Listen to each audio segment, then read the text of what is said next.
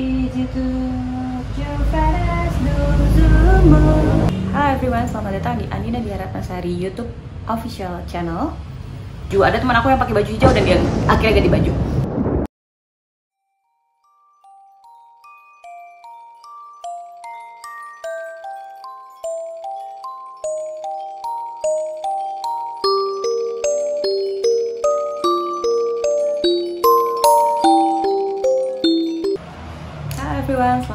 Datang dan terima kasih sudah datang dan mengeklik video ini. Nama aku Andina Diara Kasari. Tiba-tiba aku jadi keingetan waktu aku mau menunggu wisuda. Jadi kan kalau misalnya kita habis sidang itu kita ada waktu jeda untuk nunggu wisuda ya. Jadi waktu nunggu wisuda itu uh, kita tuh lumayan lama lumayan. Waktu itu aku selesai sidang Januari, jadi nunggu wisuda itu sekitar 3 sampai 4 bulan. Kalau nggak salah wisudanya bulan April jadi itu kan uh, lumayan lama waktu jedanya so untuk self reward waktu itu tuh aku uh, dan teman-teman aku ngerencanain untuk tour bareng dan turnya ke mana? Yogyakarta. Jakarta itu sekitar 4 hari 3 malam ya jadi empat hari dan tiga malam menginap. Jadi waktu pertama kali ke sana itu makan. Oh ya uh, jadi pas aku jalan tour itu itu pas banget mau hari ulang tahun aku. Jadi mau deket-deket hari ulang tahun Yogyakarta itu kan bener-bener khas dengan ciri kejawaannya. Jadi Yogyakarta tuh membuat kita selalu ngebalik-balik lagi gimana enggak ya makanannya enak terus juga wisatanya juga bagus dan harganya pun murah dan affordable banget buat apalagi kantong mahasiswa yang akan ramai di sana pakai minibus. Jadi minibusnya itu uh, udah udah semuanya udah dipaketin semuanya bareng-bareng uh, waktu itu tuh nyampe nya malam dan udah pasti kita pembagian kamar. Nah, pas pembagian kamar itu, jadi untuk karena kita berdelapan itu kan di hotel itu kan kamarnya besar, jadi kita tuh nyewa dua hotel untuk perempuan. Nah, dua hotel untuk perempuan berarti kan pas ya, delapan orang berarti kan pas untuk empat orang perempuan dengan empat orang perempuan. Jadi itu nggak akan sempit dan nggak akan apa karena pas empat empat. Tapi jadi enam karena kita selalu sekolah bareng dan tiga orang lagi itu jadi uh, teman aku bawa pacarnya dan jadi itu pacarnya teman-teman gitu. Jadi uh, kita berenam itu deket. Akhirnya tadinya aku mau ngalah aku mau ikut mereka jadi kan mereka bisa berempat dan yang lain juga berempat gitu. Tapi aku ditarik juga jadinya akhirnya kita berlima lima dan tiga. Jadi jadi agak lebih sempit ya lima dan tiga. Jadi lumayan perjalanan 15 jam ya waktu itu jadi lumayan capek. Jadi kita istirahat kayak bareng kayak paginya uh, kita jalan-jalan bareng. Biasa kalau wisata ke Yogyakarta itu kan pasti ke Prambanan ke Borobudur ke semuanya candi-candi kita ke keraton juga. Dan kita ke jalan uh, seperti anak-anak pada umumnya, nah, turis-turis pada udah, umumnya. Udah udah kayak gitu kita kan ganti baju lagi karena kita mau jalan-jalan kayak di Malioboro mau beli-beli souvenir lucu kayak gitu-gitu. Jadi kan udah lumayan kemalaman. Akhirnya kan ya udah kita ganti baju. Udah udah cakep-cakep ganti baju udah mandi udah segala macem nah udah selesai kayak gitu uh, akhirnya udah siap segala macam kita jalan kita jam itu agak agak kemalaman juga sih ya, sekitar jam 8 jam 9 lah jam 8 lah jam 8 setengah 9 gitu. Udah kita jalan di sana turun bus putar balik untuk jemput gate-nya. Udah putar balik di sana. Udah kita baru sebentar nih jalan-jalan ayo kita mau foto. Udah udah banyak banget pengen foto pengen ke mana pengen jalan-jalan ke Malioboro atau apa apa pun uh, apa pun lah di situ. Nah tapi setelah itu akhirnya hujan terus dong guys benar-benar hujan. Deras banget. Jadi kita tuh kebasahan karena nggak ada tempat untuk ngumpet sama sekali. Cuman di di, da, di daun-daun di itu. Tapi kan tetap percuma aja ya. Kita ngumpet-ngumpet di daun tapi tetap aja. Kita nggak mungkin bisa ngumpet. Karena kan kalau misalnya kita ngumpet kayak gitu tetap aja kebasahan. Akhirnya kita kebasahan semuanya. Ya nggak mungkin dong kita jalan-jalan ke Malioboro malam-malam. Maunya niatnya romantis-romantisan tapi udah basah udah kuyup segala macam dan masih hujan kita nggak mungkin maksain. Akhirnya bus putar balik jemput kita lagi kita ke hotel lagi kita mandi lagi dan namanya mandi perempuan siap-siap perempuan itu kan lama banget ya. Jadi akhirnya udah selesai tuh semuanya teman-teman aku juga udah selesai uh, mandi segala macam 10 sampai setengah 11 gitu. Ya sangat mungkin lah kita kita perempuan-perempuan yang baik gitu ya berlima. Ya udah udah mager malas. Memilih untuk di kamar aja.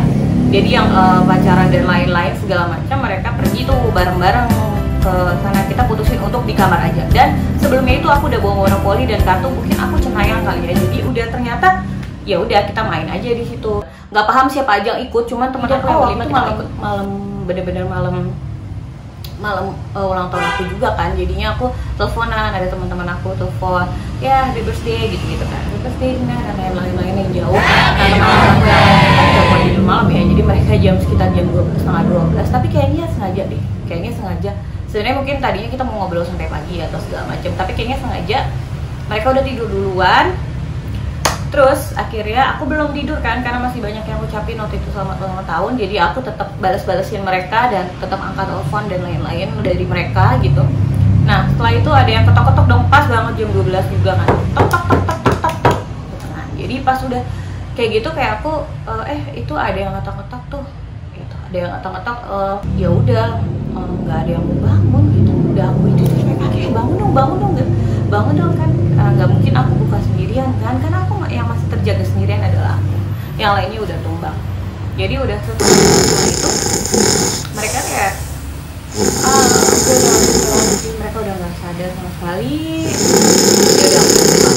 Pas dibuka ternyata teman-teman aku yang cocok pada kasih surprise. Ah happy birthday selamat ulang tahun. Ya gini gini gini gini Oke, makasih ya teman-teman. Karena mereka juga sebenarnya lagi nongkrong gitu, lagi nongkrong dan nempetin untuk surprise dulu padahal mereka lagi nongkrong. Jadi setelah udah selesai dipelilin dan lain-lain, mereka balik lagi dong. Mereka balik lagi ke tempat nongkrongannya mereka. Karena kan kalau cowok nggak mungkin lah nongkrong sebentar ya kan, apalagi pas banget lagi bareng-bareng keesokan harinya saya tuh keesokan harinya pagi-pagi itu kan berarti di hari birthday aku kan. Kita lumayan banyak juga tuh schedule-nya lumayan banyak schedule-nya ngunjungin Prambanan ngunjungin keraton. Di mana teman-teman kalau misalnya kayak kita ngunjungin ke candi-candi gitu ada aturannya juga sendiri. Terus ada juga kayak e, misalnya harus pakai baju ini terus harus misalnya kita kayak di keraton itu kita nggak boleh sama sekali ngambil foto ngambil foto dengan kamera profesional dan lain-lain itu nggak boleh. Jadi kita bener-bener hanya mengunjungi keratonnya aja. Jadi kayak bener-bener kayak cuman oh iya kita lihat nih ini keraton kayak gini kayak gini kayak gitu. Jadi kalau misalnya kayak di keraton itu juga kayak kita dipinjemin kain gitu loh. Kayak nanti kita dipinjemin kain di depan terus nanti udah selesai kita kunjungan selesai itu baru kita kembaliin lagi itu kainnya. Jadi biar sopan gitu loh. Biar sopan nanti aku liatin kainnya kayak apa.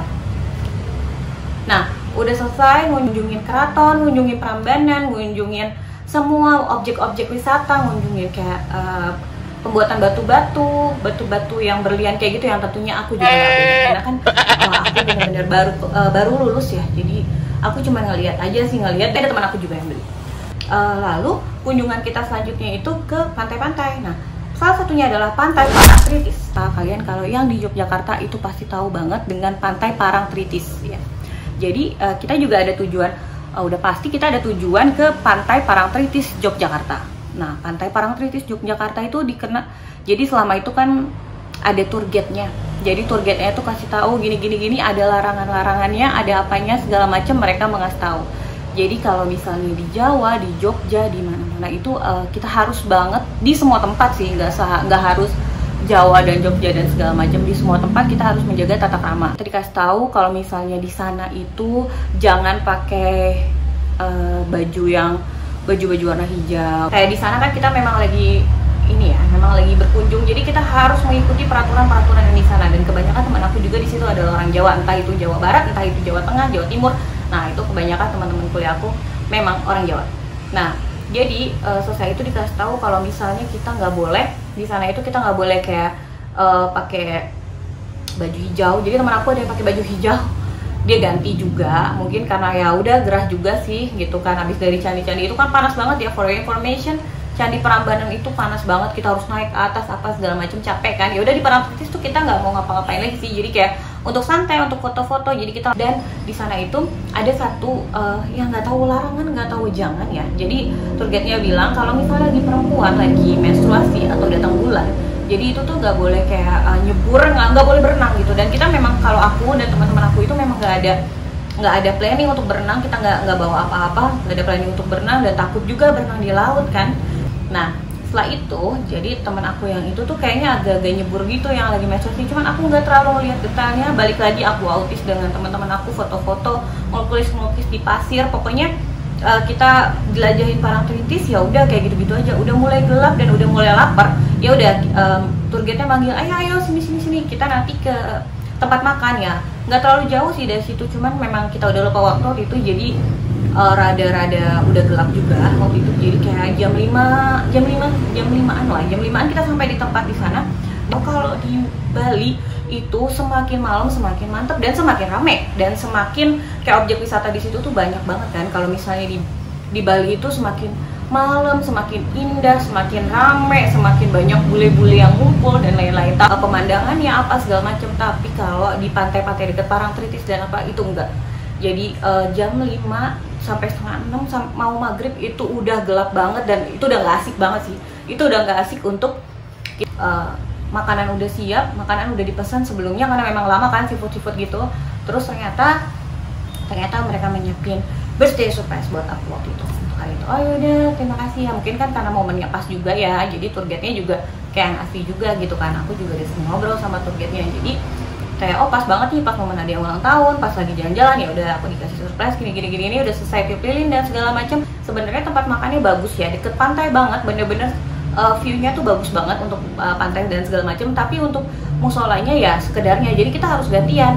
Udah segala macam aku duluan tuh. Aku langsung buru-buru lari duluan karena uh, biar aku cepet beres aja cepet cepet beres dan lain-lain. Ya udah aku nunggu deket dia. Dan itu pertama kalinya banget aku ngeliat orang dengan mata yang bener-bener dia itu bener-bener pandangannya kosong. Jadi aku ngeliat dia cuman aku nggak terlalu ngeh banget. Aku cuman nyapa dia cuman dia nggak jawab sama sekali. Mungkin oh ya udah so kenal banget kali ya gue gitu. Tapi itu tuh aku baru kali itu ngeliat orang dengan mata pandangan kosong. Yang bener-bener kosong banget.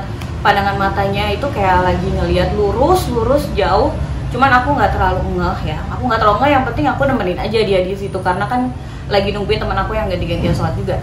Nah udah selesai itu udah selesai nungguin teman-teman aku yang udah selesai sholat juga dan aku ngerasa nggak enak lah gelap gitu kan dan meskipun kita sholat tujuannya di sana gelap dan udah maghrib nah ada teman aku ya Ayu di situ Ayu.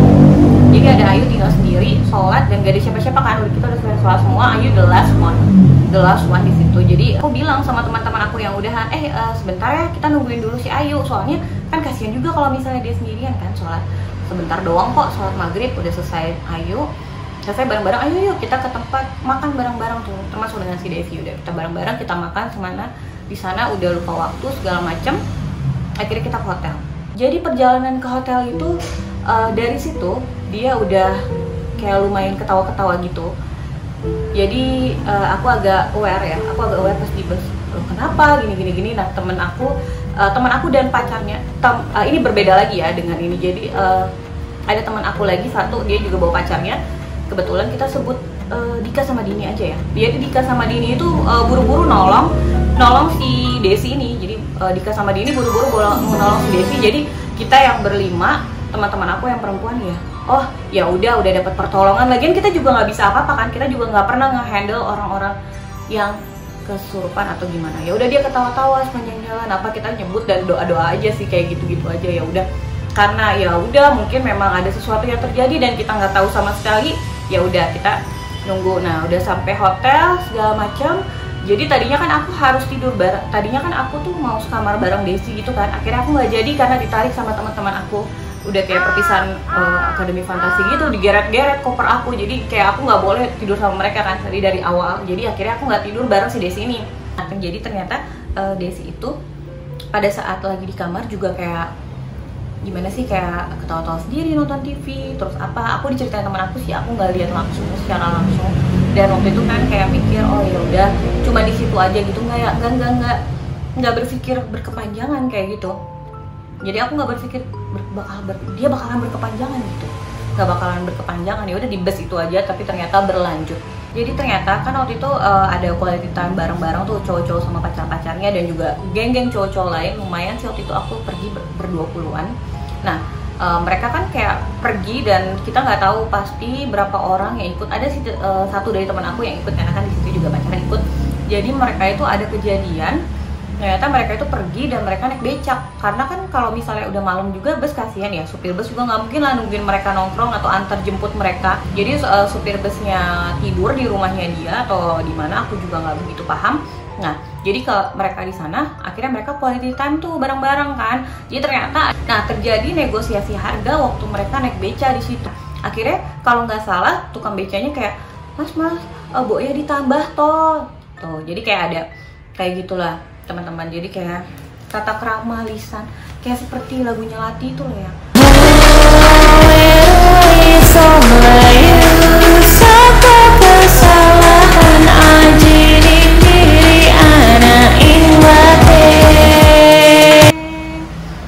Jadi lisan itu dan pokoknya uh, tata krama segala macam di Jawa dan orang Jawa itu kan rada agak-agak sensitif gitu ya hatinya agak-agak sensitif agak-agak harus lembut harus segala macam. Jadi kalau kita ngomong agak keras dikit atau gimana dikit nah, pokoknya hasil mereka agak-agak ribut agak ribut ya agak ributnya orang Jawa sih kayak ribut-ribut kayak gitu kan. Agak ribut jadi si Didi jadi si abang becaknya itu abang becaknya itu tuh minta tambah sekitar sepuluh ribu rupiah waktu itu ya. Ya udah sih emang si Didi aja nih temen gue juga emang rada-rada hmm, gimana banget gitu ya Nah, jadi si Didi itu nggak mau gitu kan. Pokoknya negosiasi mereka agak alot waktu itu. Agak alot, jadi akhirnya Didi nggak mau nambahin, jadi tukang becanya agak-agak kesinggung gitu kan.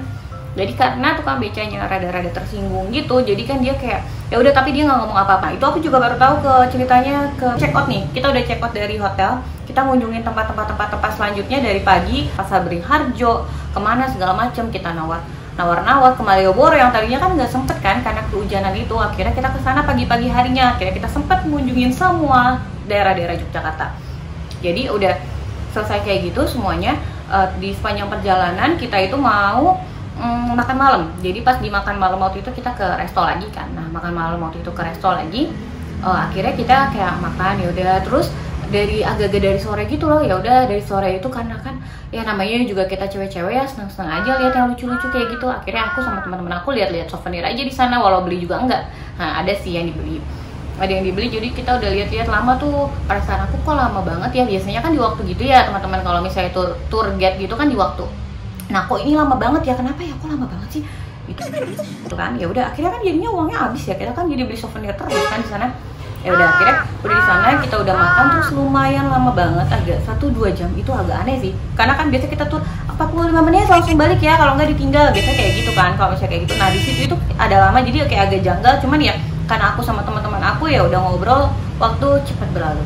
Jadi ya udahlah aku no hard feeling banget ya udah kita nikmatin aja namanya juga lagi liburan kan gitu. Jadi ternyata di tempat makan yang kita mau perjalanan pulang itu ada negosiasi antara tour guide aku dengan orang pintar di sana. Jadi kayak jadi ada something wrong with Desi gitu.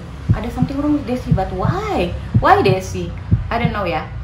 I don't know. Jadi kayak nggak tahu kenapa uh, Desi memang agak lumayan berkepanjangan kesurupannya waktu itu. Kemasukan sesuatu gitu kan. Lumayan berkepanjangan. Oh, parahnya dari kritis waktu uh, itu. agak lebih parah dia agak ketawa-tawa terus di bus dia itu apa.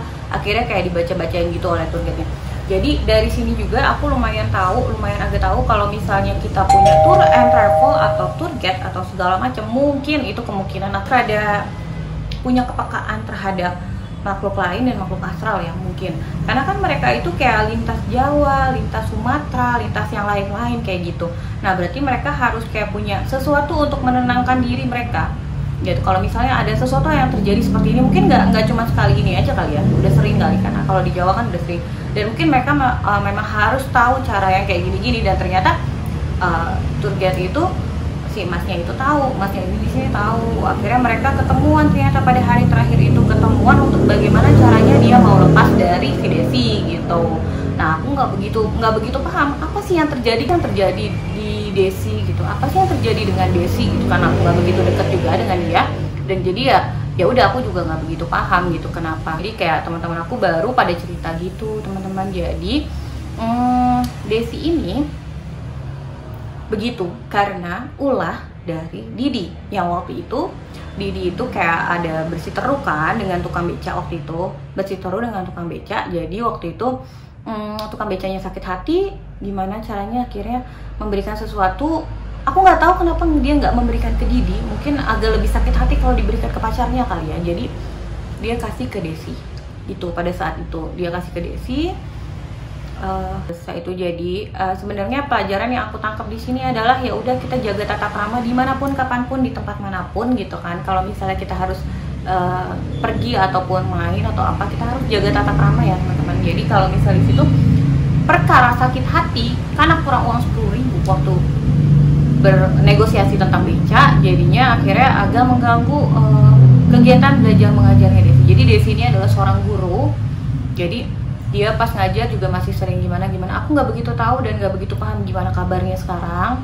Jadi mudah-mudahan baik-baik aja ya. Jadi uh, ternyata berkepanjangan sampai ke Jakarta mungkin uh, agak alot waktu itu negosiasinya di situ. Berarti nggak berjalan dengan lancar dong. Aku nggak tahu gimana gimana tapi mudah-mudahan uh, udah beres sih semuanya. Nah, jadi teman-teman untuk di sini aku mungkin buat kayak kita tuh harus benar-benar menjaga krama ya kalau misalnya kita lagi ke mana-mana atau mana pun kapan pun itu penting banget ya kalau misalnya kita lagi mengunjungi tempat-tempat yang bukan tempat kita. Oke segitu aja ceritanya. Terima kasih udah menonton terima kasih udah uh, ke channel aku jadi oke okay, bye bye